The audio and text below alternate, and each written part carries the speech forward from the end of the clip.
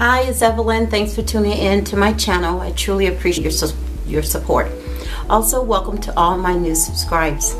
Today I'm talking about KimmayTube Leave-In Conditioner.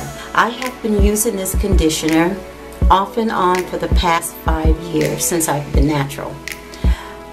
I have been consistent with it over the years, but I absolutely love it. But in the last three months, I have. I make the conditioner and I re-moisturize my hair every two to three days, depending on how I wear my hair.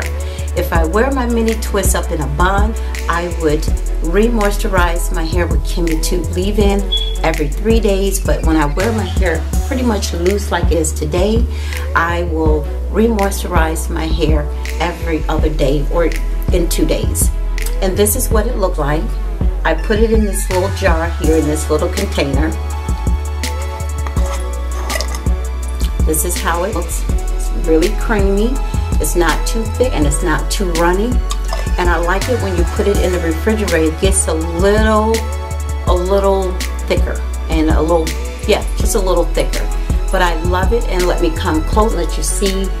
Um, I put it in my hair today. You see how my twists look. I love how my hair isn't heavy, it isn't weighed down by it, although it um, has jojoba oil and castor oil, and we all know that castor oil is very thick. But I really love how my hair feels and what it does to my hair. It smooths my cuticles and um, I just love it. It's, it's so healthy for my hair.